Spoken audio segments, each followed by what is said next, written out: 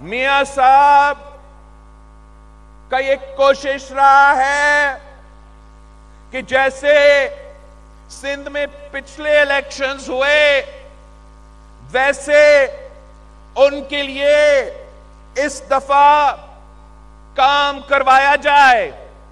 और यहाँ भी मियाँ साहब का ये कोशिश है कि वो ना सिर्फ़ पाकिस्तान पे मुसलत हो, मगर उनका कठपुतली हुकूमत कराची में बैठे ताकि वो आपके हक पे डाका मार सके, आपके वसाइल पे डाका मार सके, आपके हकूक पे डाका मार सके।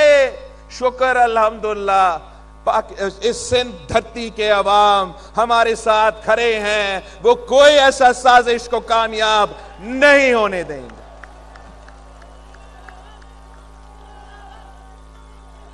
हम इन ताला, वैसे बारिश शुरू हो रहा है, आठ फरवरी को, आठ फरवरी को तीरों का बारिश होगा, तीरों का बारिश। मैं मुल्क भर जा रहा हूँ और पाकिस्तान को, पाकिस्तान के अवाम को यह बता रहा हूँ कि हमें आपका मिसाइल का एहसास है। हम समझते हैं कि इस वक्त तीन सबसे बड़े मसले हैं पाकिस्तान के अवाम के लिए। एक महँगाई, दूसरा गुर्बत और तीसरा बेरोजगारी। और मैंने मैंने अपने हाथों से ये अवामी मुआशी मुआदा तैयार किया है। ये दस नुकाती एजेंडा है। इसको आप उर्दू में पढ़ सकते हो सिंधी में पढ़ सकते हो सराइकी में पढ़ सकते हो बलोची में पढ़ सकते हो। हमने तो पश्तून में भी इस, इसको ट्रांसलेट किया है। आप खुद ये जो हमारा दस नुकाती एजेंडा है ये आप अपने साथियों को इसके बारे में बताएँ?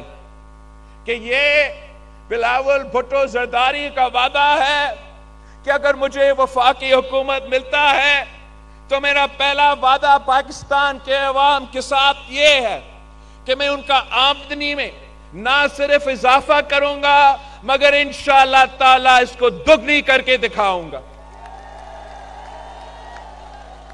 मैं